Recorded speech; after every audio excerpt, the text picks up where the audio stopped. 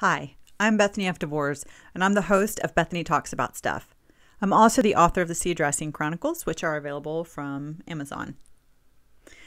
So, I wanted to talk a little bit about what this show is and what it isn't, and what you can expect from Bethanie Talks About Stuff. First of all, I will say this is not meant to be a wholly political show or a religious show. It is meant to be about pop culture and just fun. For instance, I will be talking about my international travels, as limited as they are. Uh, I'll be talking about my dogs, but I'll mainly be talking about pop culture, movies, music, shows, other podcasts, uh, video games, especially.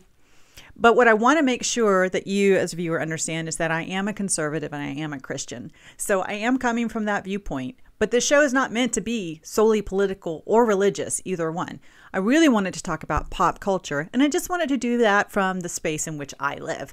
So I think whether you're conservative or liberal, whether you're religious or not, I think this show still has something for you regardless. And I hope that you'll stick around to see what I'm talking about. My dogs hope so too. And if you're really lucky, you'll hear them growling at each other or falling down the stairs behind me because they really like to do that while I'm trying to record stuff.